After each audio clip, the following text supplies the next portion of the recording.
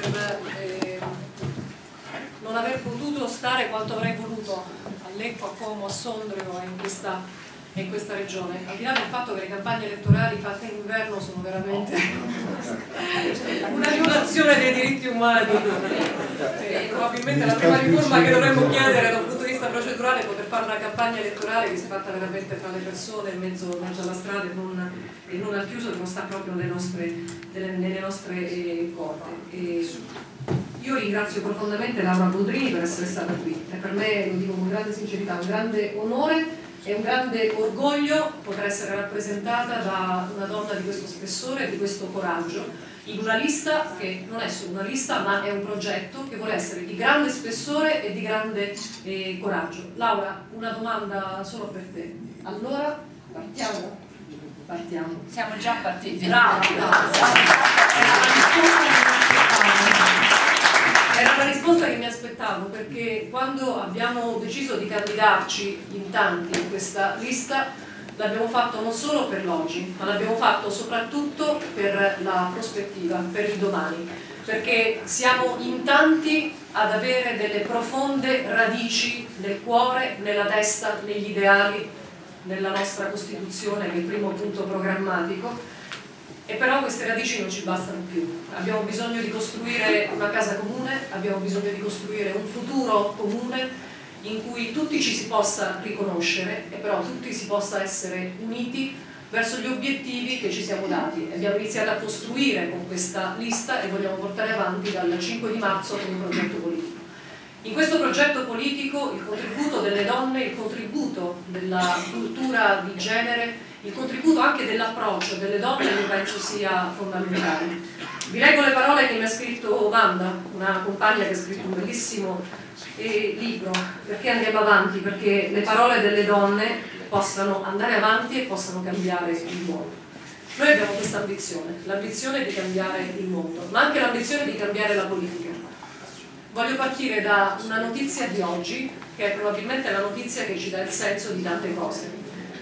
Mentre tanti giornali continuano a interrogarsi sui partiti personali, sui tatticismi, sulle alleanze, su fantomatiche liste di ministri e di governi che non potranno mai essere di un unico partito, visto questa terribile legge elettorale con cui abbiamo a che fare, noi donne e tanti uomini che condividono con noi questa battaglia per una società più umana sono atterriti per l'ennesimo, eh, si può dire bambinicidio? Sì. Si può dire bambinicidio?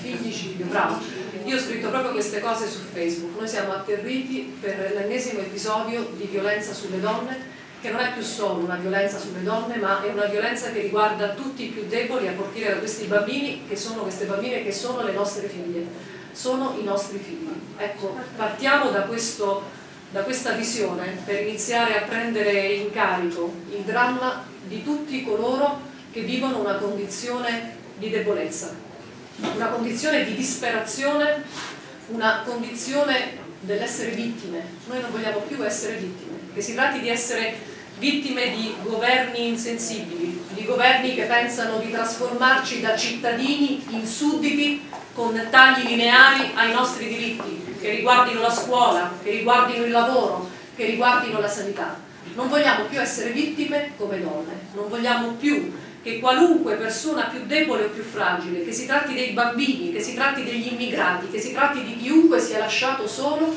possa essere oggetto di una vergognosa campagna che mette deboli contro deboli, fragili contro fragili. Noi invece siamo il contrario.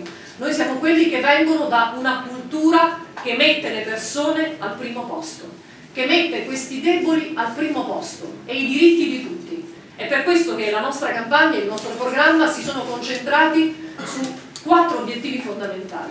Il primo, un welfare universale che riguardi il ripristino del diritto alla salute per tutti, di un diritto al lavoro per tutti e del sostegno di chi si trovi privo di lavoro senza sua, senza sua colpa, del diritto per tutti di accedere a un'istruzione gratuita e di alta, di alta qualità, di un sostegno anche alle famiglie che parta dagli asili e arrivi fino all'università gratuita per chiunque voglia frequentarla seriamente e voglia portare avanti il proprio progetto, il proprio progetto di vita. Per una sanità che non può essere una, serietà, una sanità di serie A per chi ha i soldi per pagarsi le cliniche private e una sanità di serie, di serie B che mette insieme il dramma dei medici che non possono svolgere bene il loro lavoro con il dramma dei pazienti che vanno lì e devono sperare di avere qualcuno che con coscienza li curi, anche se magari è oberato da turni di lavoro impossibili. E alla lotta alla precarietà, la lotta a chiunque pensi di poter utilizzare il lavoro come un'arma, travisando invece il ruolo che la Costituzione gli dà, lo strumento per il pieno sviluppo della persona umana.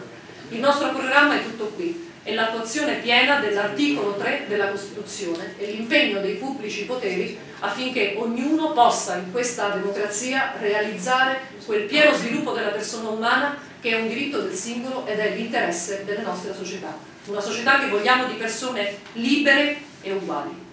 Io lancio questo messaggio da Lecco, ma vale per tutti i comuni eh, di questa eh, circoscrizione elettorale e mi dispiace di non poter continuare il mio giro, ma sta arrivando una tempesta di neve e io da mamma devo tornare a casa perché mia figlia non posso lasciarla, non posso lasciarla sola, però ringrazio di cuore per avermi ospitato in questa campagna elettorale, ringrazio tutte le persone che ci hanno aiutato, Tino, Celeste, i ragazzi che sono veramente dei giovani splendidi, le giovani candidate, i candidati e tutti voi che siete qui presenti e che siete quel popolo con cui vogliamo far partire questo grande progetto per un nuovo partito della sinistra che sia finalmente, finalmente radicato nel suo popolo e aderente a quel sogno che insieme vogliamo costruire, donne e uomini, giovani e anziani più o meno fortunati. La solidarietà è la nostra forza, la Costituzione è il nostro programma. Brava.